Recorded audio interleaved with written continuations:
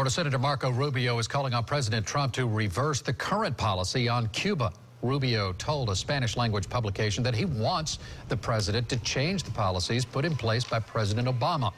Congresswoman Kathy Castor visited Cuba last year, and News Channel 8 was there to document that trip. Castor believes it would be a mistake to reverse course on Cuba we had a non-engagement policy for 50 years, and that didn't change the form of government in Cuba. I believe we can do more through engagement, and we've seen that already.